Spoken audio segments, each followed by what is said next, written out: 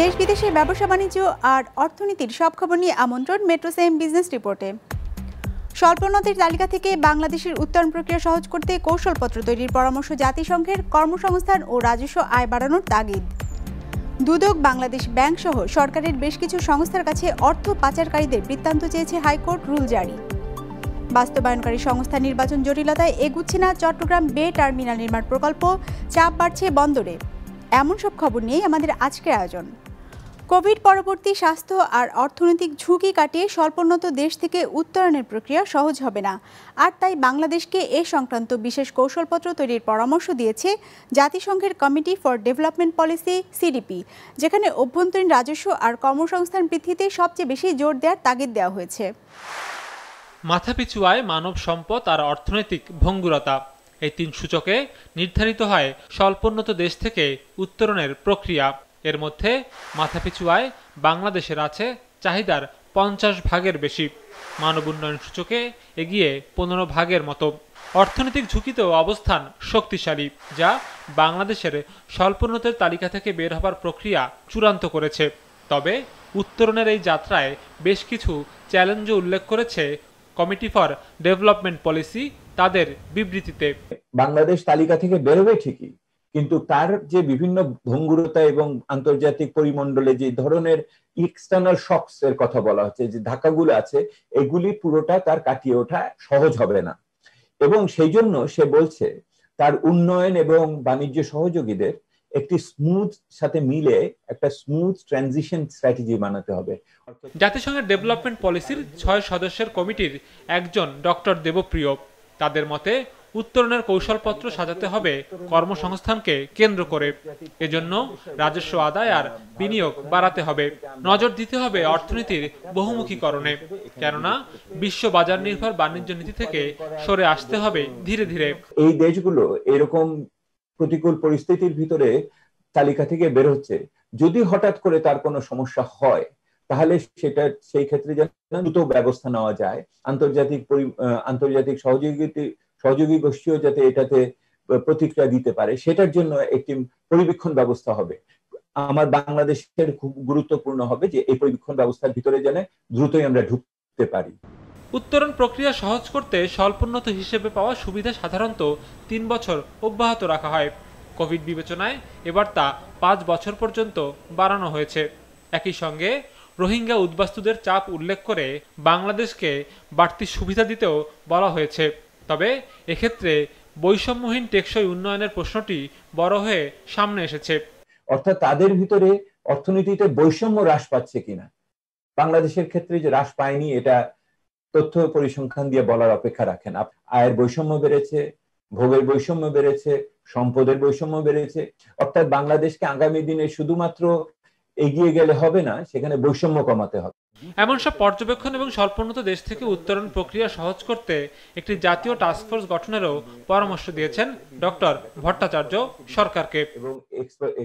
Sourav Rahman business report মাছনা television Swiss bank সহ বিদেশে যারা অর্থ পাচার করেছেন তাদের নাম ঠিকানা এবং তাদের বিরুদ্ধে কি ব্যবস্থা নেওয়া হয়েছে তা সরকারের কাছে জানতে চেয়েছেন হাইকোর্ট। একই সঙ্গে পাচারকৃত অর্থ ফেরত আনার নির্দেশ কেন দেওয়া হবে না জানতে চেয়ে রুল জারি করেছেন আদালত। নুরসিদ্দিকি রিপোর্ট। আন্তর্জাতিক বাণিজ্যের মাধ্যমে বাংলাদেশ থেকে প্রতি বছর গড়ে সাতশো তেপ্পান্ন কোটি সাঁত্রিশ লাখ ডলার বা চৌষট্টি হাজার কোটি টাকা পাচার হয়। যুক্তরাষ্ট্রের ওয়াশিংটন ভিত্তিক গবেষণা প্রতিষ্ঠান গ্লোবাল ফিনান্সিয়াল ইন্টিগ্রিটি জিএফআইয়ের এক প্রতিবেদনে জানানো হয়েছিল, গেল বছর। এর বাইরেও নানা উপায়ে পাচার হয় টাকা। কিন্তু এই বিপুল পরিমাণ অর্থ পাচারকারীদের নাম ঠিকানা প্রায় অপ্রকাশিতই থেকে যায়। যদিও দু একজনের নাম মাঝে মধ্যে উঠে আসে গণমাধ্যমে। বিদেশে পাচার হওয়া টাকা ফিরিয়ে আনার বিষয়ে সম্প্রতি শত প্রণোদিত হয়ে রুল জারি করেছিল হাইকোর্টের একটি ডিভিশন বেঞ্চ। একই সঙ্গে সুইস ব্যাংকে পাচার হওয়া অর্থ ফিরিয়ে আনতে আলাদা রিটও হয়। আজ দুটি রিটের শুনানি শেষে অর্থ পাচারকারীদের নাম ঠিকানা জানাতে আদেশ দিয়েছেন আদালত। সুইস ব্যাংকের জব্দকৃত টাকা ফেরত আনার বিষয়ে ব্যর্থতা কেন অবৈধ করা ঘোষণা করা হবে না?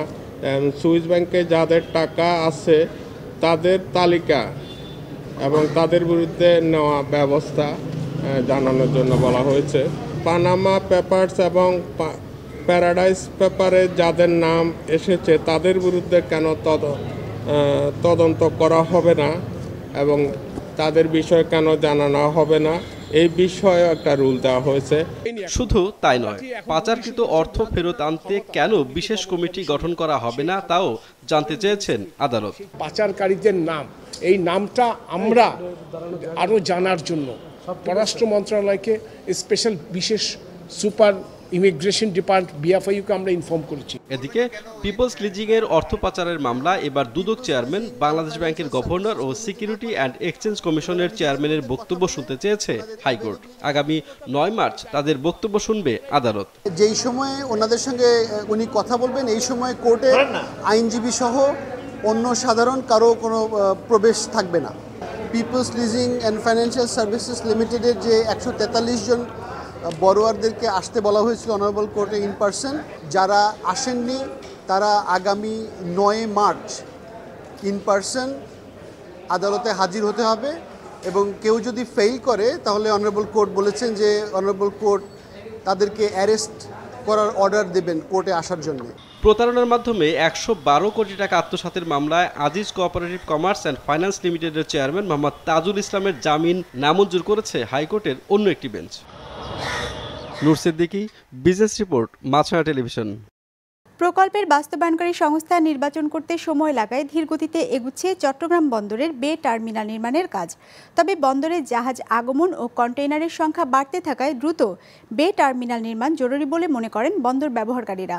চট্টগ্রাম থেকে রবিউল টিপুর ক্যামেরায় তাজুল ইসলামের রিপোর্ট।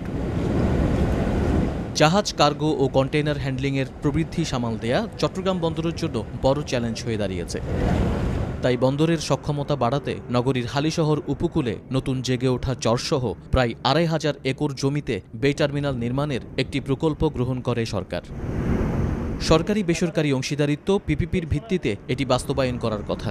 এখন আলোচনা চলছে এর বাস্তবায়নকারী সংস্থা নিয়োগ নিয়ে।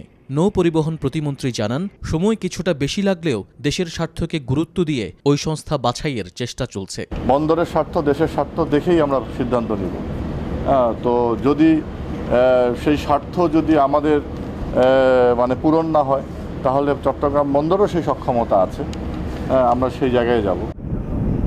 বন্দরের ক্রমবর্ধমান চাহিদা পূরণে দ্রুতই বে টার্মিনাল নির্মাণের তাগিদ দিলেন বন্দর পরিচালনা ও ব্যবহারকারীরা। ইলেভেন থেকে টোয়েন্টি পার্সেন্ট যে গ্রোথ সেই গ্রোথটা কিন্তু আগামী পাঁচ বছর পরে আমরা ব্যবসায়ীরা যেটা আমরা মনে করতেছি যে আমাদের যে ইকোনমিক জোনগুলো ডেভেলপ হচ্ছে এবং ইকোনমিক জোনগুলো যখন ইমপ্লিমেন্টেশন হয়ে এটা যখন প্রোডাকশনে চলে যাবে, তখন কিন্তু হঠাৎ করে এটা কিন্তু টোয়েন্টি পার্সেন্টের জাম্প করবে। ইন্ডিয়ার সাথে আমাদের ট্রানজিটের চুক্তি হয়েছিল এবং সেইভাবেই ট্রানজিটের অনেক মালামালও আসছে।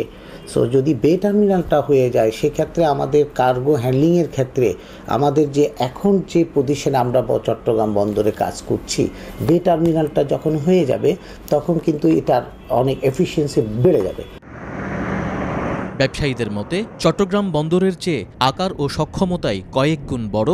এই বে টার্মিনাল নির্মাণ হলে দেশের অর্থনৈতিক প্রবৃদ্ধি বহুগুণ বাড়বে। সব ঠিক থাকলে দু হাজার পঁচিশ সালের মধ্যে এই টার্মিনাল চালু হবে বলে আশা করছে বন্দর কর্তৃপক্ষ।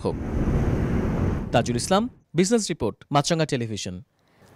দেশেই তৈরি হবে সনি ও র্যাঙ্কসের হাইটেক প্রযুক্তির পণ্য। এজন্য সিলেটের বঙ্গবন্ধু শেখ মুজিব হাইটেক পার্কে পৃথক পাঁচটি কারখানা স্থাপন করবে র্যাঙ্কস ইলেকট্রনিক্স কারখানা নির্মাণের জন্য প্রতিষ্ঠানটিকে বত্রিশ একর জমি দিয়েছে বাংলাদেশ হাইটেক পার্ক কর্তৃপক্ষ, যেখানে প্রাথমিকভাবে আট কোটি ডলার বিনিয়োগ করবে র্যাঙ্কস ধাপে ধাপে বিনিয়োগের পরিমাণকে তিন গুণ বৃদ্ধির পরিকল্পনা রয়েছে প্রতিষ্ঠানটির। রোববার রাজধানীর একটি হোটেলে এ বিষয়ে সমঝোতার চুক্তি হয়েছে। টেলিভিশন, রেফ্রিজারেটর, এয়ার কন্ডিশন সহ বিভিন্ন ধরনের হোম অ্যাপ্লায়েন্স।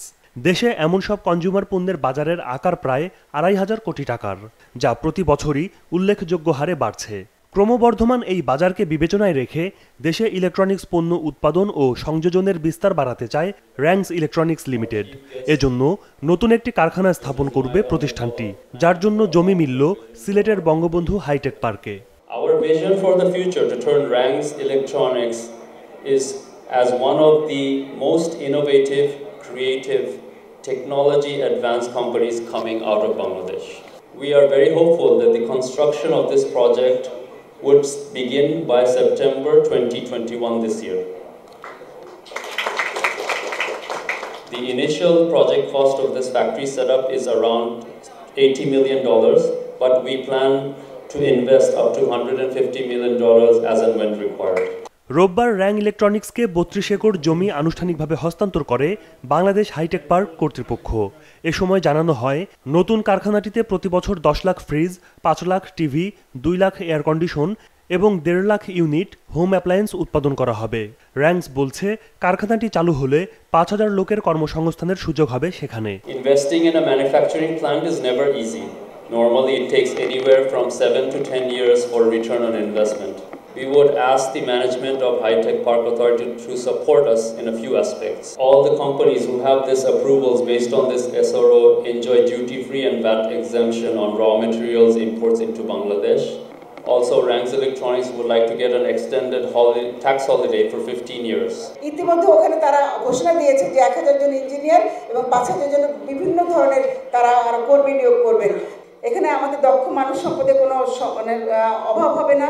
কেন সেখানে সিলেট মেডিকেল কলেজ আছে, সেখানে সেখানে আমাদের শাহজাহান প্রযুক্তি বিশ্ববিদ্যালয় আছে এবং আছে আরও অনেকগুলো বড় বড় কলেজ। তাদের যে ধরনের সমস্যাগুলো আছে, সেই সমস্যাগুলো এখন আমাদের সমস্যা।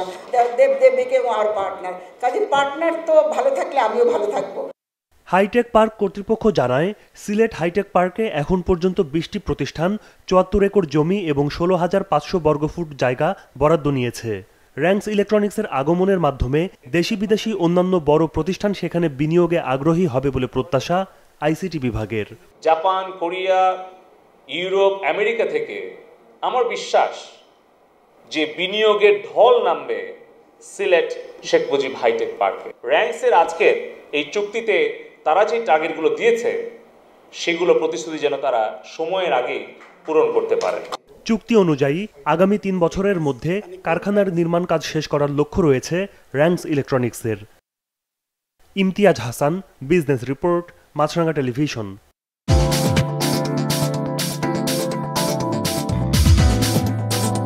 সূচক পতন দিয়ে শেষ হয়েছে ঢাকা স্টক এক্সচেঞ্জে সপ্তাহের প্রথম কার্যদিবসের লেনদেন। সার্বিক সূচক ডিএসসি এক্স এগারো পয়েন্ট কমে দাঁড়িয়েছে পাঁচ হাজার চারশো চারে। বেচা কেনা হয়েছে ছশো ষাট কোটি টাকার। লেনদেনে অংশ নেওয়া শেয়ার ও মিউচুয়াল ফান্ডের মধ্যে দর বেড়েছে একশো দুইটির, কমেছে একশো বিশটির আর অপরিবর্তিত আছে একশো ছাব্বিশটির দর। এবার বাজার নিয়ে বিশ্লেষণ শুনব ব্র্যাকিপিয়াল স্টক ব্রোকারেজের। আজকের দিন শেষে আমরা দেখতে পাচ্ছি যে ডিএসসি এক্স বিগত দিনের তুলনায় এগারো পয়েন্ট কারেকশন ফেস করেছে। ডিএসসির অন্যান্য তিনটি ইন্ডেক্সেও কিন্তু আমরা সিমিলার পিকচারই দেখতে পাচ্ছি। সো টোটাল আমরা বলতে পারি যে ডিএসসির চারটি ইন্ডেক্সই কিন্তু আজকে কারেকশন ফেস করেছে। তবে একই সাথে যদি আমরা ডিএসসির লার্জ ক্যাপ সেক্টরগুলোর পারফরমেন্স দেখি, তবে আমরা লার্জ ক্যাপ সেক্টরগুলোর মধ্যে কিছুটা মিক্সড প্রতিক্রিয়া দেখতে পাচ্ছি। যার মধ্যে ব্যাংক এবং ফুড অ্যান্ড অ্যালাইড এই সেক্টরগুলো পজিটিভ থাকলেও কিন্তু আজকে দিন শেষে নেগেটিভ ছিল টেলিকমিউনিকেশন এবং ফার্মাসিউটিক্যালসের মতো সেক্টরগুলো তবে আজকে লার্জ ক্যাপ সেক্টরগুলোর মধ্যে সবচেয়ে বেশি পজিটিভ ছিল ব্যাংক সেক্টর অন্যদিকে আজকে সবচেয়ে বেশি কারেকশন ফেস করেছে টেলিকমিউনিকেশন সেক্টর তবে আমরা যদি আরও ভালোভাবে লক্ষ্য করি, তবে আমরা দেখতে পাচ্ছি যে ইন্ডেক্সের এই কন্টিনিউয়াস ডাউন ট্রেন্ড কিন্তু আজকে ডিএসসির ওভারঅল ডেইলি টার্ন ওভারেও কিছুটা ইম্প্যাক্ট ফেলেছে। আজকে সারাদিনে ঢাকা স্টক এক্সচেঞ্জে ট্রেড হয়েছে ছয়শো ষাট কোটি টাকার যা বিগত বৃহস্পতিবারের তুলনায় এগারো শতাংশ কম। তবে আমরা একই সাথে যদি ডিএসসির সেক্টরিয়াল টার্নওভার কন্ট্রিবিউশনের দিকে দেখি, তবে আমরা দেখতে পাচ্ছি আজকে সবচেয়ে বেশি টার্নওভার কন্ট্রিবিউট করেছে পাওয়ার সেক্টর অন্যদিকে ইন্ডিভিজুয়াল কোম্পানিগুলোর মোস্ট রেটেড শেয়ারের তালিকায় আমরা দেখতে পাচ্ছি আজকে সবচেয়ে উপরেই রয়েছে বাংলাদেশ এক্সপোর্ট ইম্পোর্ট এই কোম্পানির নাম। আজকে সারাদিনে এই কোম্পানিটি একশো একত্রিশ কোটি টাকা টার্নওভার জেনারেট করেছে। এক দশমিক নয় ট্রিলিয়ন ডলারের করোনা তহবিল অনুমোদন করল কংগ্রেস। তহবিলটি সিনেটের অনুমোদন পেলে প্রত্যেক মার্কিন নাগরিক চোদ্দশো ডলার করে বেকার ভাতা পাবেন। বিস্তারিত ডেস্ক রিপোর্টে। করোনায় ক্ষতিগ্রস্ত দেশগুলোর মধ্যে প্রথম সারিতে আছে মার্কিন যুক্তরাষ্ট্র। এখন পর্যন্ত দেশটির প্রায় দুই কোটি নব্বই লাখ মানুষ ভাইরাসটিতে আক্রান্ত হয়েছে আর প্রাণ হারিয়েছে পাঁচ লাখ চব্বিশ হাজারের বেশি মানুষ। কোভিডে আক্রান্ত এবং প্রাণ হারানোর তালিকায় এক নম্বরে আছে দেশটি। শুধু স্বাস্থ্য সংকটই নয়, সংক্রমণের শুরু থেকেই লোকসান গুনছে দেশটির ছোট বড় অনেক ব্যবসা প্রতিষ্ঠানও। তাই অর্থনীতি পুনরুদ্ধারে করোনার শুরু থেকে কয়েক দফা তহবিল ঘোষণা করে যুক্তরাষ্ট্র সরকার। নির্বাচনকে কেন্দ্র করে দীর্ঘ সময় বিরতির পর এক দশমিক নয় ট্রিলিয়ন ডলারের নতুন করোনা তহবিল ঘোষণা করে দেশটি, যেটি বাইডেন প্রশাসনের নেয়া প্রথম কোনো আর্থিক পরিকল্পনা। শনিবার বিলটি পাশ হয়েছে দেশটির প্রতিনিধি পরিষদে। An overwhelming percentage of the American public has made it clear that they support my American Rescue Plan. And House of Representatives took the first step toward making it a reality.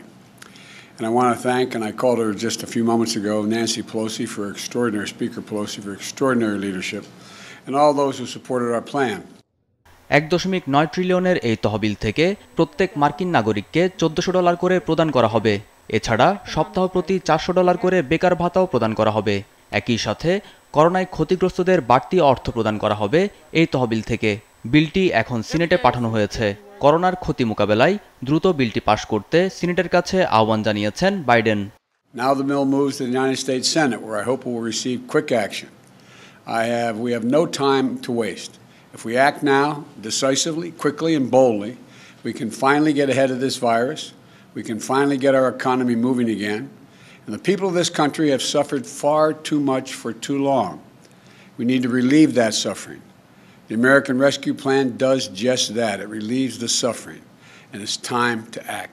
তবে এই তহবিলের আকার নিয়ে আপত্তি তুলেছে রিপাবলিকানরা তাদের দাবি এতে অনেক অপ্রয়োজনীয় বিষয় অন্তর্ভুক্ত করা হয়েছে তহবিলটির মাত্র নয় ভাগ অর্থ করোনা প্রতিরোধে ব্যবহার করা হবে বলে অভিযোগ তুলেছে ট্রাম্পের দল মুস্তফা তাহান বিজনেস রিপোর্ট মাছরাঙ্গা টেলিভিশন দর্শক, আমাদের যে কোনো পর্ব নিজেদের সুবিধাজনক সময় দেখতে সাবস্ক্রাইব করুন বিজনেস রিপোর্টের অফিসিয়াল ইউটিউব চ্যানেল ফেসবুক পেজে লাইক দিয়ে আপডেট থাকুন ব্যবসা বাণিজ্যের আলোচিত সব ঘটনা সম্পর্কে। আর আপনাদের মতামত জানান ইনবক্সে আজ এটুকুই, বিদায় নিচ্ছি, ভালো থাকবেন।